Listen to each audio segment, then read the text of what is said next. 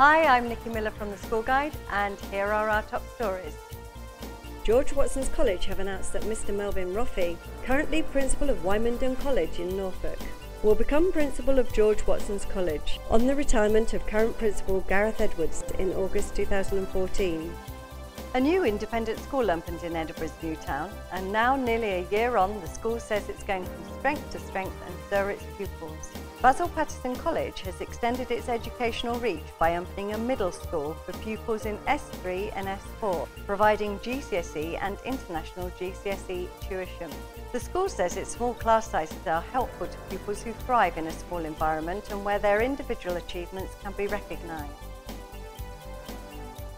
Kidscene is a new after-school and a holiday club based at the Royal Blind School in Edinburgh.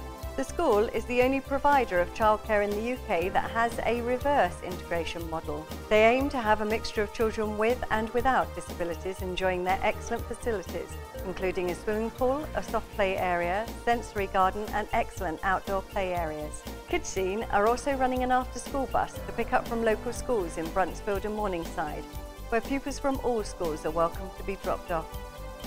George Heriot's senior boys football team claimed the Scottish Independent Schools Association Cup on Friday the 24th of May. Beating Stewart's Melville College 2-1 at Hearts Tynecastle Stadium places Heriot's the most successful independent school in Scotland, with victories in 2002, 2005, 2008 and again in 2013.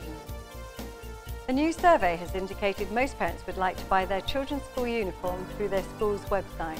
The Clan House 2013 customer survey found that 76% of parents that participated indicated this would be helpful. A Clan House spokesman said, We already have this in place with a number of schools, both independent and state, and are in discussions to roll this out to more in the near future. Those were our top stories. Keep checking in online for our next Between Classes news. And why not follow me on Twitter